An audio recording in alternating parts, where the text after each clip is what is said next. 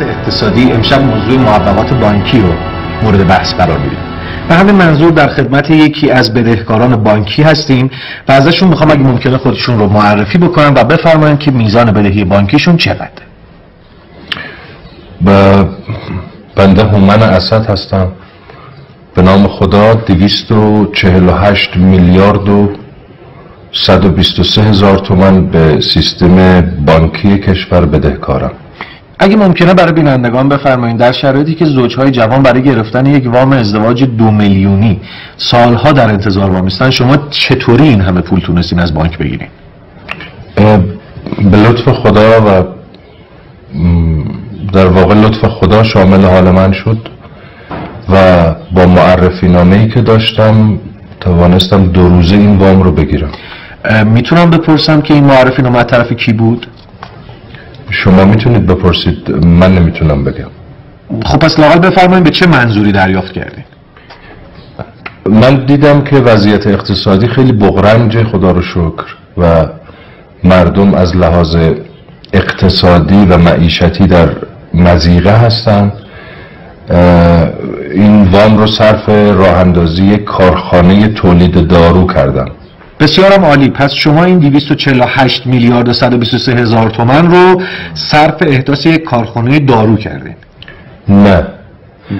ما دیدیم که در واقع تولید و نگهداری و این چیزهای دارو سخته و مسئله ساز این بود که تصمیم به واردات دارو گرفتم آه پس شما با این پول دارو وارد کردین.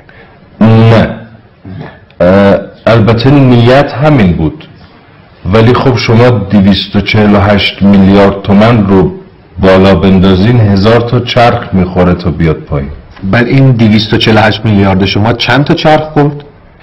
این دو وارو جمع زد رفت سمت واردات خودروهای لوکس. بعد اون وقت کسی نیومد یقه شما رو بگیره که با این پولی که گرفتین می‌خواستین دارو وارد کنین دارو تولید کنین یا چی شد که خودروی لوکس آوردین؟ نه. چون عرض کردم معرفی نامه داشتم. خب فکر نمی کنین وارد کردن خودرو به جای دارو بازی با جون مردمه؟ چرا؟ من واقعا هی فکر کردم که کاش به جای واردات خودروهای لوکس و پرسرعت و خودسرعت مثل پورشه و لامبورگینی کاش ای کاش فولکس قورباغه‌ای وارد می‌کردم که جان مردم به خطر نیفته خب حالا از این ماجرا میگذریم. شما خودروها رو آوردین بالاخره اینا رو فروختین دیگه. وقتی فروختین چرا پول بانکو ندادین؟ من پول رو برداشتم رفتم به سمت بانک. به رسیدم دیدم ساعت سه و نیمه و بانک بسته. گفتم شاید قسمت نبود. همونجا اون کنار یک مسکن بود مسکن معاملات ملکی. و همونجا من چهار هزار و هشتصد واحد مسکونی با این پول خریدم. بعد توی مدت هم که از مسئولین بانکی باهاتون تماس نگرفت؟ چرا؟ تماس می‌گرفتند حرف می‌زدیم گاهی تماس می‌گرفتند حرف نمی‌زدند گاهی تماس می‌گرفتند فوت می‌کردند. خیلی خب حالا بعد واحدا رو خریدین. چرا اونا رو نفروختین بفروشین پول بانکو بدین؟ شما راضی هستی که در این رکود مسکن بنده بیام واحدهای مسکونیم رو بفروشم و ضرر بکنم. شما من سوال واسه دیگه مطرح می‌کنم حالا شما نه اگه شما بودی این کارو می‌کرد خب نه اصلا شما نفروختی.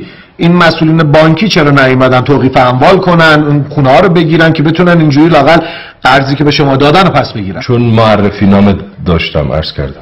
خب بالاخره شما چطوری می‌خواین این 248 میلیارد و 123 هزار تومان رو برگردونین من با نشستی که در همین اخیر.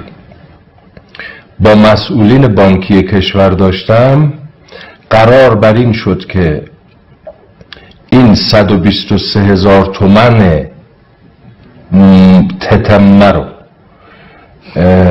اون اصل پول نه اون 123 هزار تومن رو طی اقساط دوازده ساله به بانک برگردن بهتون فشار وارد نمیشه؟ هیچ کار اقتصادی خالی از زحمت و سختی نیست. خالی از عاطفه و درد.